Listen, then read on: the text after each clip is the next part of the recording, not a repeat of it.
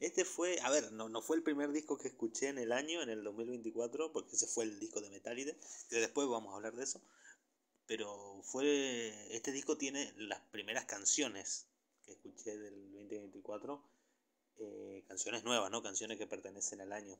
¿Por qué? Porque le metieron, hay que decirlo, para este proyecto realmente le metieron mucha inversión, porque seguramente todo lo que están viendo este video, las tres personas que van a ver esto, eh, vieron algunos de los videos oficiales que se hicieron como 5, 4 o 5 videos oficiales para, para este disco. O sea, este proyecto, Alterium, como que apuntaba mucho, ¿no?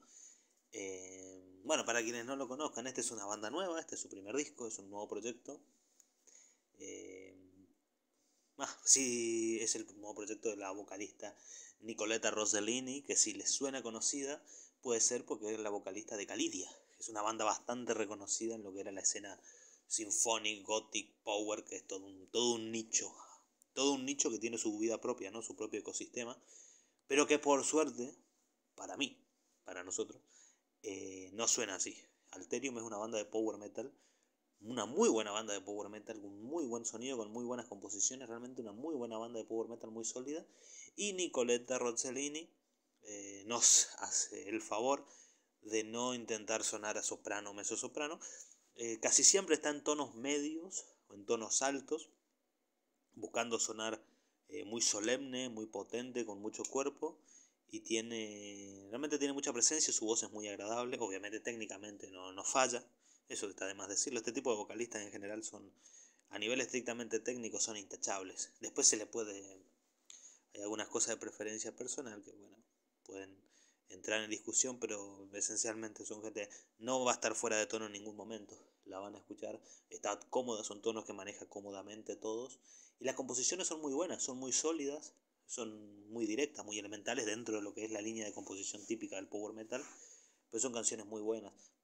Bueno, a ver, esta banda cuenta como guitarrista con Alex Mott, no sé si conocen a Alex Mott, es el guitarrista de Heroes of Forgotten Kingdoms y de Draconicon, que son dos bandas de los últimos años muy muy importantes en la escena de power metal y de power metal subrayado, de power metal de como de, armadura esencial, el verdadero power metal de dragones, hadas, castillos y reinos, ¿cierto?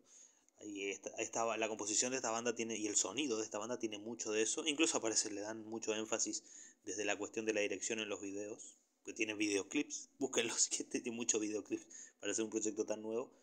Y obviamente, a ver, juegan mucho con la imagen de Nicoleta, de su, de su vocalista, frontman y líder. Y mal no lo hace, porque es algo que se viene haciendo muchísimo en el metal, pero esencialmente lo que quiero destacar de esta banda es que suena power metal.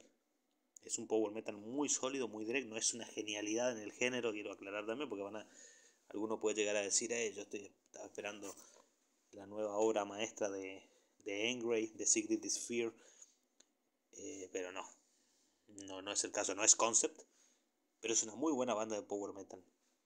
Estoy haciendo el énfasis en que es power metal, porque es Nicoletta Rossellini, si alguno la conoce de, de sus andanzas anteriores, va a esperar algo más gothic, symphonic, o toda esa gama de línea que entra en ese campo semántico, y no, es una banda por suerte muy disfrutable, muy bueno. Y el disco gana con las escuchas. Eso también.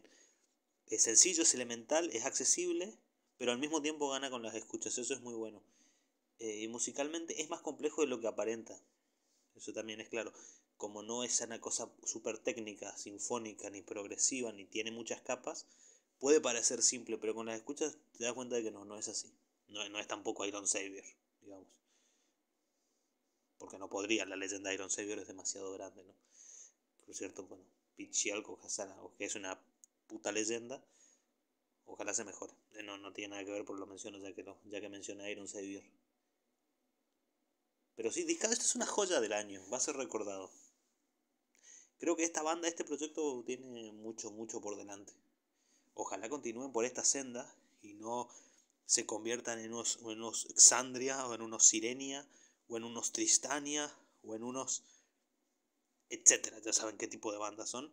Espero que no. Espero que no. Espero que estén más cerca de unos Frozen Crown, o de unos Metalite, o de unos Burning Witches eh, con Laura Guldemont o bueno o de unos Beautiful Sin esperemos